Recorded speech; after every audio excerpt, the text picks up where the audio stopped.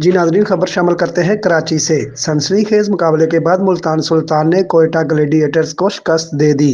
Pakistan super league के season seven के सातवें मैच में दिलचस्प मुकाबले के बाद मुल्तान सुल्तान ने कोयटा ग्लेडिएटर को छह रन से शिकस्त दे दी। 175 के हदफ के ताकब में कोयटा ग्लेडिएटर पूरी टीम एक रन पर आउट हो गई। तफसीत के मुताबिक कराची के नेशनल स्टेडियम में खेले गए मैच में मुल्तान सुल्तान के इमरान ताहिर ने जादुई गेंदों से मैच का पांसा पलट दिया।